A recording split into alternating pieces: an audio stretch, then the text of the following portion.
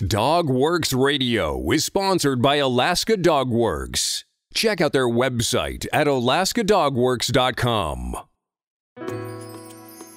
This episode of the podcast is brought to you by First Paw Coffee Company, specializing in private label premium blend coffee. If you're serious about coffee, you should check it out. First Paw Coffee's passion is high quality small batch roasted coffee. They take the extra time to taste and get everything perfect before they release new blends. They aim to bring you a cup of happiness each time you pour yourself some coffee. Find out more at ak.dog slash free and enter for a chance to win some First Paw Coffee prizes, a book from our collection, and tote bag. One winner will be selected at random each month. That's ak.dog slash free. It's the most wonderful time of the year. Unfortunately, it can also be the most dangerous time of the year for our four legged furry family members. Holiday decorations, unhealthy sweets and treats, and cold winter weather can pose threats to our dogs. But there's one source of danger in particular that all pet parents should prepare for the Christmas tree. From First Paw Media, sponsored by Alaska Dog Works Professional Canine Training Center in Anchorage, Alaska. This is Dog Works Radio, committed to families and their dogs to build lifelong and fulfilling relationships. Visit our website at dogworksradio.com. Now, here are your hosts, Robert and Michele Forto. Hello and welcome to Dogworks Radio. This is your host, Michele Forto, and I am the lead trainer for Alaska Dogworks. Here we work with owners and their dogs to have a better relationship. Today we are going to talk all about dogs and Christmas. Did you know that more training programs are sold in January than any other time of the year?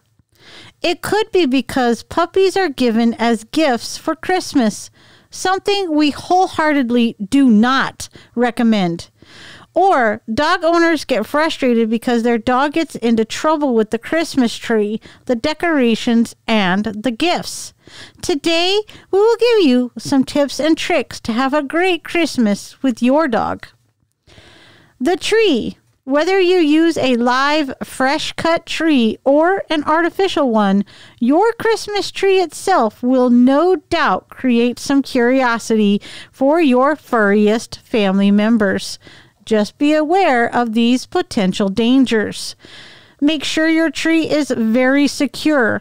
Every year, curious canines tip over trees that aren't properly secured. Make sure your tree stand is sufficiently sized for your tree and, if necessary, use wires to secure the tree to a nearby wall to prevent it from falling and injuring your dog. Be careful of fallen needles. Depending on the type of tree you use, fallen needles could be mildly toxic to your dog. In particular, fir tree oils can cause mouth and stomach irritation and can lead to vomiting and upset stomach if ingested. Fallen tree needles from both live and artificial trees can cause intestinal obstruction or puncture a dog's gastrointestinal tract. Artificial trees, especially those used year after year, can become brittle over time, and some are made using materials that are unsafe if ingested. Do not let your dog drink the tree water. Many live, fresh cut Christmas trees are treated with preservatives, pesticides, and fertilizers to help them stay looking their best through the holidays. Additionally, many folks add aspirin or floral preservers to the water to keep trees fresh as long as possible. These additives make the tree water highly toxic to dogs. With curious pets in the home, always limit access and cover the water reservoir. The decorations. Keep lights and cords safely out of reach. Make sure any strings of lights used to decorate the tree are out of reach of your dog to avoid him being burned by a hot bulb or electric shock from chewing on a wire. Either firmly tape cords to the wall or floor to use cord hiders to prevent access. Be careful when choosing ornaments. Many pet parents have learned the hard way to pack away the fragile glass ornaments in favor of plastic or shatterproof ornaments instead.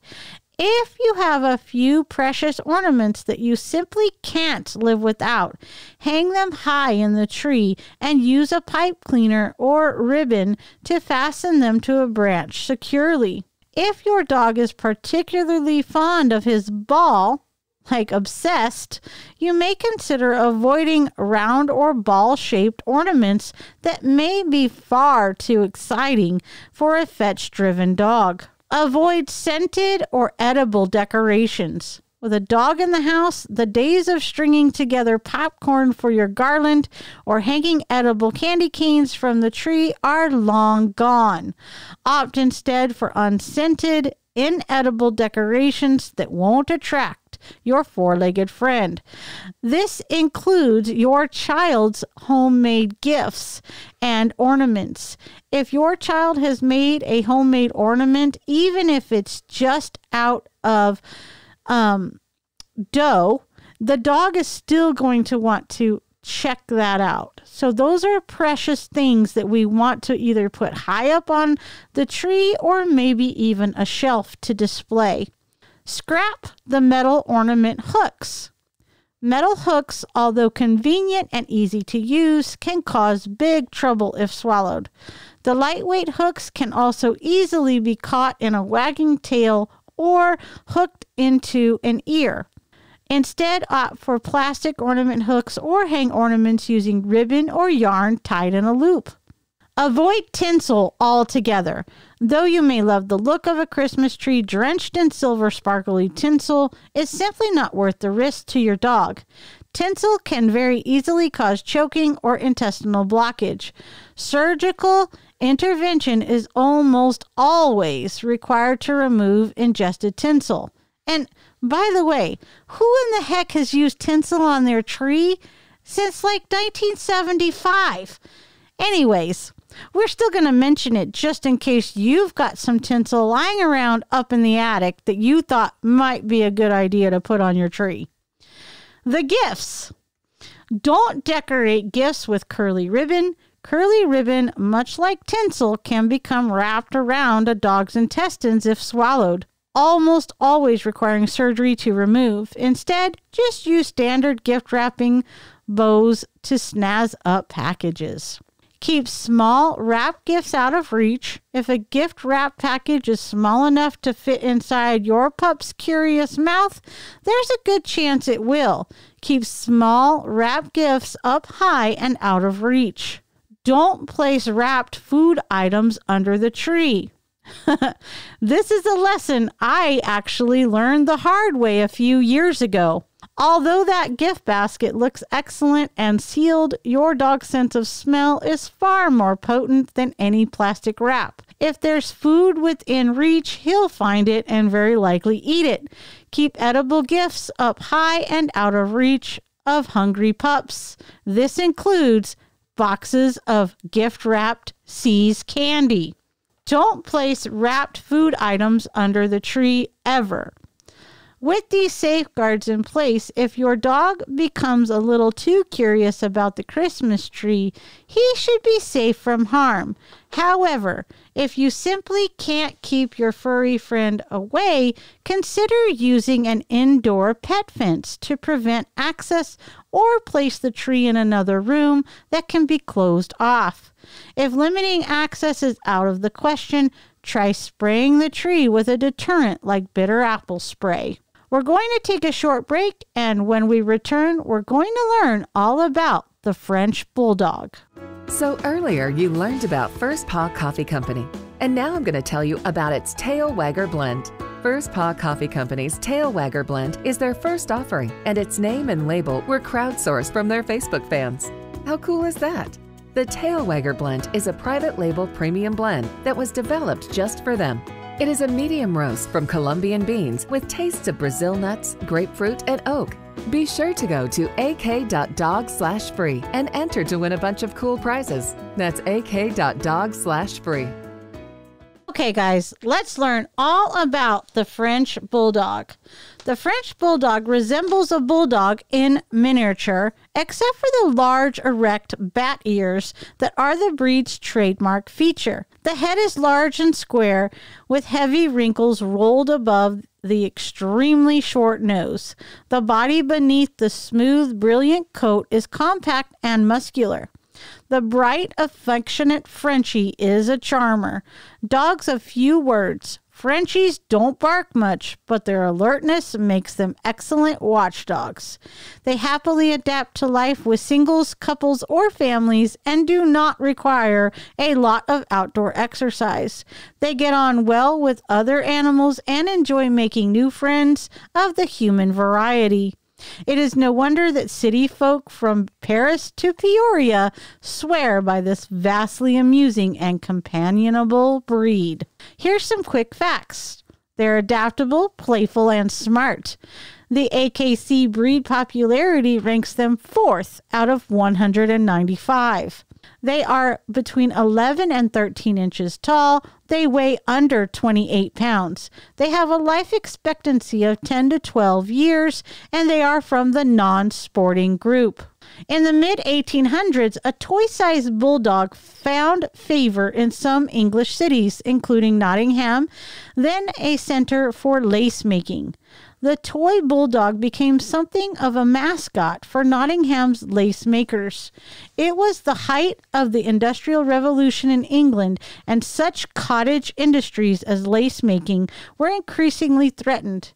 Many in the lace trade relocated to northern France, and of course, they brought their toy bulldogs with them. The little dogs became popular in the French countryside where lace makers settled.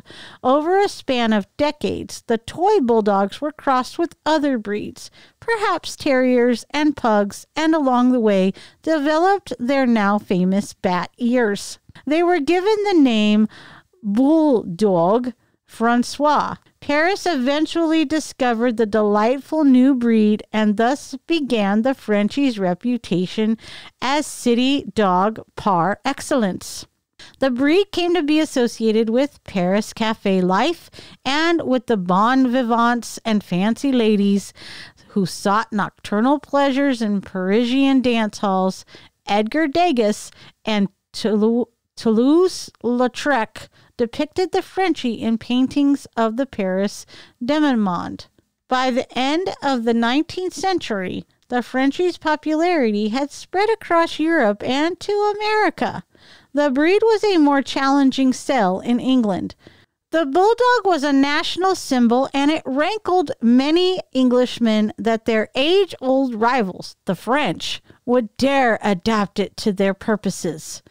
American devotees of the early 1900s contributed to the breed by insisting that the bat ear instead of the rose ear was the correct Frenchy type. It is by this distinctive feature that the Frenchie is instantly recognizable the world over. Care and training. A high quality dog food appropriate to the dog's age will have all the nutrients the breed needs. Frenchies are prone to obesity, which can damage their physical structure and puts them at higher risk for some of the breed's health issues. So it is vital to watch their calorie intake and weight. If you choose to give your dog treats, do so in moderation. Give table scraps sparingly, if at all, especially avoiding cooked bones and foods high in fat. Learn about which human foods are safe for dogs and which are not. Check with your vet if you have any concerns about your dog's weight or diet. A short walk or outdoor play session with their owner each day should provide enough exercise to keep the French Bulldog in shape. Frenchies enjoy participating in canine sports such as obedience, agility, and rally. However, as a flat faced breed, they are prone to breathing difficulties and should never be allowed to exert themselves in hot or humid weather. Early socialization and puppy training classes are recommended.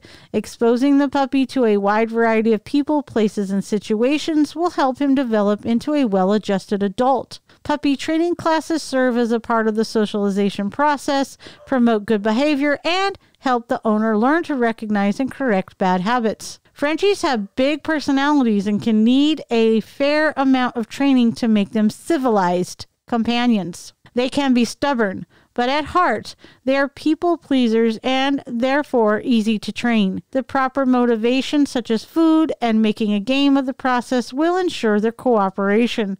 Want to learn how to train your French Bulldog to be one of the best trained dogs?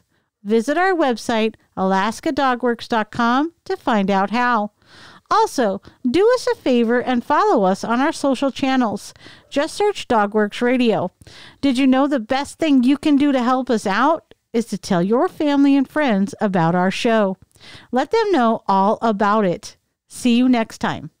This episode of the podcast is sponsored by First Paw Coffee Company. Learn more at firstpaw.coffee. From First Paw Media, this is Dog Works Radio. We hope you enjoyed this podcast, and we invite you to subscribe in Apple Podcasts, Spotify, Stitcher, or wherever you get your podcasts. You'll find a link on the episode notes. You can tap or swipe on the episode cover art, and you'll see some offers from our sponsors. You can support our show by supporting them. If you like what you have heard, we would love it if you could give us a five star rating and tell your friends how to subscribe too. Your hosts are Robert and Michele Forto. Our producer is Robert Forto and created for First Paw Media. Did you know that Alaska Dog Works trains service dogs for those in need throughout North America? Each and every service dog that is trained through the Lead Dog Service Dog Program and Michele Forto and her team has an individual training plan.